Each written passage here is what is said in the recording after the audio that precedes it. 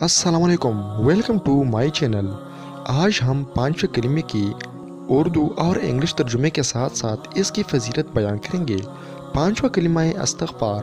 استغفر اللہ ربی من کل ذنب اذنبت عمدا او خطاء سرا او علانیة و اتوب الیہ۔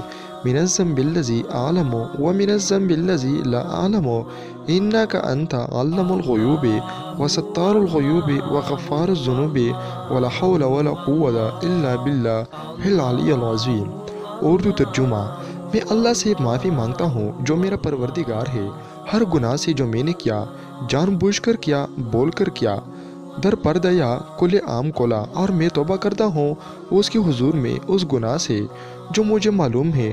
اور اس گناہ سے جو مجھے معلوم نہیں بے شک تو عیوبوں کو جاننے والا اور عیوبوں کو چھپانے والا ہے اور گناہوں کا بخشنے والا ہے اور گناہوں سے بچنے کی طاقت اور نیک کام کرنے کی قوت اللہ ہی کی طرف سے ہے جو عالی شان اور عظمت والا ہے۔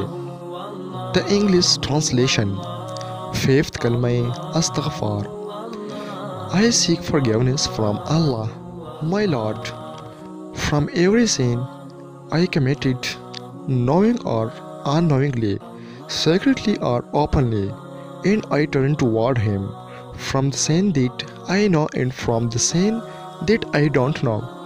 Certainly you, you are the knower of the hidden things, and the concealer of the mistakes, and the forgiver of the sins.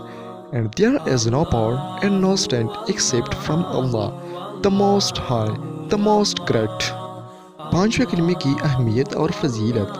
استغفار کے معنی ہے اللہ تعالیٰ کی بارگاہ میں گناہوں کی معافی مانگنا اور توبہ کرنا۔ اس عمل کی احادیث میں بہت زیادہ فضیلت بیان ہوئی ہے۔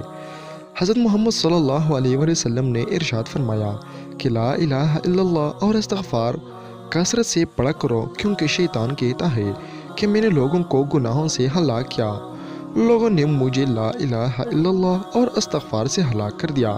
جب میں نے یہ معاملہ دیکھا تو انہی خواہشات نفس میں ڈال دیا، جبکہ وہ اپنے آپ کو غلط فہمی سے ہدایت پر ہی سمجھتے رہے۔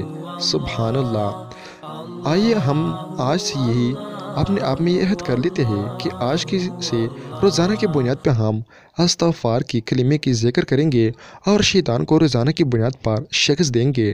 ویڈیو کو دیکھنے کا شکریہ اور ہمارے چینل کو اپنے ساتھ ضرور سبسکرائب کیجیے گا۔ اپنے دعاؤں میں ہمیں بھی یاد کریے گا۔ شکریہ۔